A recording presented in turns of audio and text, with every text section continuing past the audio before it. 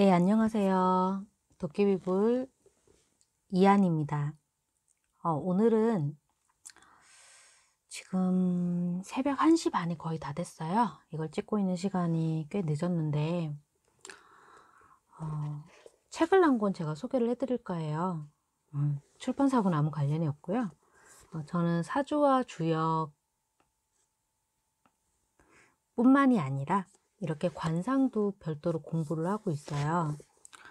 음, 제가 지금 들고 있는 책은 미즈노 남보쿠라고 하는 작가가 지은 관상, 오명은 타고나는 것인가? 이 관상책에 대한 건데, 일본 오사카 출신이래요. 일본 오사카에서 태어나서 어릴 때 아주 다사다난한 인생을 살았던 사람인데, 어, 뭐 배우는 걸 아주 많이 배운 사람도 아니에요. 이 사람은 그냥 저희 요즘 현대사회로 치면은 그냥 패싸움에 도박이라던가 이런 거를 일삼다가 감옥도 여러 번 들락날락 거렸던 사람이에요. 굉장히 불우한 어린 시절을 보냈던 사람이고 뭐 체계적인 교육을 받은 사람은 절대 아니에요. 그런데 음 3년을 이발소에서 일하고 그 다음 3년은 목욕탕에서 일을 하고 그리고 마지막 또 3년은 화장터의 그 인부로 일을 했대요. 총 9년을 일을 한 거죠. 그렇게 하면서 사람의 얼굴이라던가 어떤 머리 이런 거는 이발소에서 저절로 공부가 됐고 그리고 목욕탕에서 일을 하면서 사람의 어떤 몸의 신체에 관련된 이런 상을 공부를 했고 그리고 화장터 인부로 일을 하면서 뼈대 화장을 하잖아요. 그런 뼈대에 대해서 공부를 했대요. 그렇게 9년을 채우고 나니까 이 사람이 이제 서른을 넘겼는데 어, 이 사람이 1700년대 말기 사람이고 1800년대 초기에 이제 돌아가신 분이거든요. 서른이 탁 넘으면서 이 사람한테 관상을 배우는 수제자가 천명이 넘었대요. 그 정도로 박식해진 거죠. 어마어마하게 많은 수제자들이 이 사람에게 관상을 배웠고 일본에서는 관상가로서 굉장히 명성을 많이 떨쳤다고 합니다. 책이 굉장히 체계적이에요. 음, 이런 저서들이 한국에도 좀 많아졌으면 좋겠는데 좀 괜찮은 저서들은 중국이나 일본 쪽에 좀 많아서 그런 점이 좀 아쉽습니다. 번역이 그렇다고 잘 돼 있는 것도 아니고요. 어, 저는 이 책에서 굉장히 좋은 부분들을 많이 봤어요. 물론 이제 나이가 나이가 저절로 들면은 어느 정도 자신의 경험이라든가 연륜이 생, 생겨가지고 별도로 관상을 공부하지 않아도 경험으로 알게 되잖아요. 근데 보통 사람들은 그렇지 않단 말이에요. 음, 특정 직업군이 아니라면 많은 사람들을 만나볼 기회가 적죠.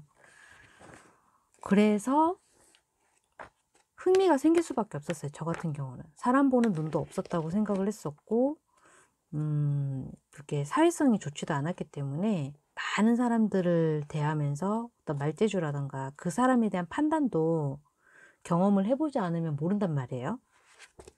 그래서 이런 사람에 대한 거는 비싼 수업료를 내면서 배우는 것도 있지만 책에도 관심 있으시다면 이런 관상책에도 한번 투자를 해보셨으면 좋겠어요.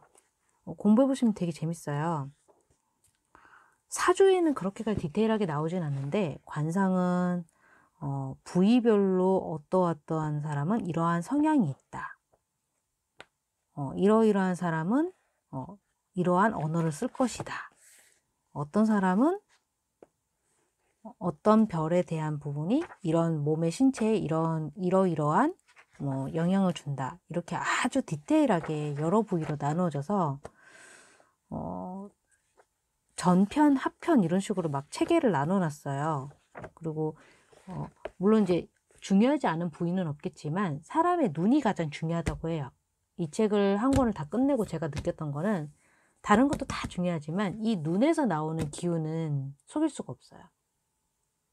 거짓말을 하고 있을 때는 거짓말을 한다는 게 입으로는 아니다 아니다 얘기를 해도 눈에서는 나온다고 하더라고요.